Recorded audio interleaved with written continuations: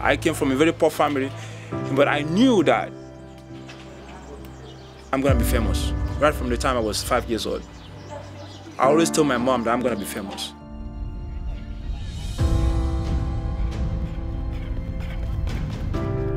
They couldn't pay for my school fees, so I went to Imo. I was uh, selling uh, bread on the streets uh, in BC Road, running, and that's what I was doing. Then after in the evening, I go to training in the Imo Sports Council. Everything was going well. I was running 400, and we're supposed to go to the first classic in uh, Bauchi. They said they don't have money. They can't sponsor us. So uh, my, my little brother gave me some transport money. I went to the competition, came in late, and I was the last race. That was 400, uh, the, the 400 meters. And there was nobody in the lane 8. I started crying. I started begging the uh, Yusuf Ali, please, can you put me in lane 8? He said, no, you're not, you're not, you're not, you're not registered. I said, please. I was begging, I was begging, I'm begging. He looked at me and said, wow, i never seen anybody like you. He said, okay, just go to the lane 8 and run. And I beat everybody. I ran 48.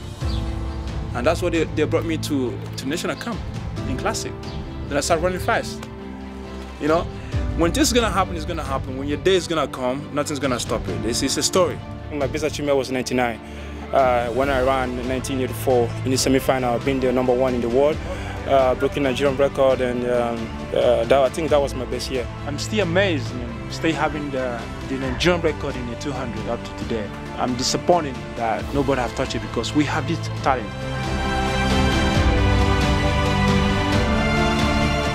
I was injured in Sydney. Uh, Nigeria didn't want to, I don't know, I don't know what to say. Uh, it was a kind of disappointment for me uh, being representing the country and running and then I was injured in the competition. I talked to the federation and I told them, look, I needed uh, some money to, to go for operation in Canada and it would cost me like $15,000 because it was a major operation. Unfortunately, they, they did approve the money, but they don't know where the money was. That was the funny part of it. They said the money was, was approved, somebody signed it, but they don't know who had the money. So I came back home, you know, you know, applied for my, uh, for my nationality. So after two months there, it was approved, you know. Then I started training. Then I remember I started training. Um, it was funny though, I started training, then I, my first race I ran 999 with my bad knee. And the Nigeria, the, the Nigeria called me and said uh, they, want, they want me to come back run for them. Whatever the Portuguese are giving me, I said it's not about the money.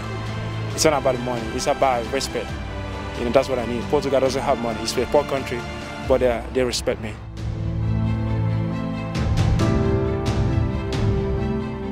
Somebody like me there's no 100% in the training. I give 150%. You know, I give it.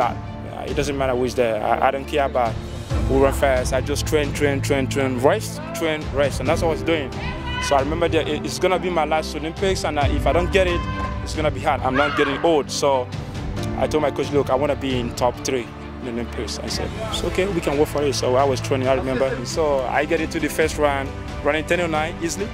And getting the second round, that was more impressive for me. I ran 9.03, jogging and then stopping in 15 meters, running my PB, 9.93, and then semi-final 9.7, the final I brought that to 9.86, which is a European record. And that's, uh, for me, that was awesome. It was like 985, 986, 987, 989, 990. So it was close, yeah.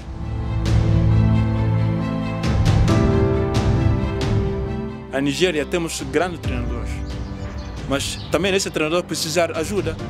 Pagaram bem, deram um sítio para ficar.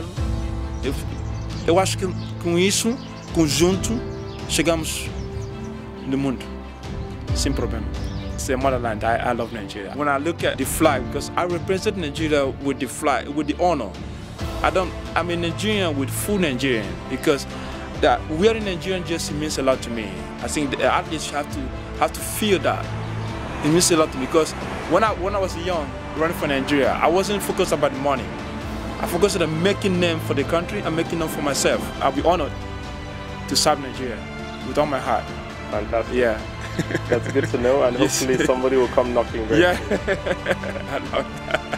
Thank you very much. Yeah, man. thank you very much. Thank you very much.